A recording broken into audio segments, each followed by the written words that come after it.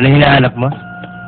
Wala akong palaman eh. Naghahanap akong palaman, lalagay ko dito sa tinapay. Sabit ka lang, naghahanap ka pa ng palaman? Masyado kang pabigat. Wala kang palaman eh. Ipalaman mo yung dila mo at kagatin mo.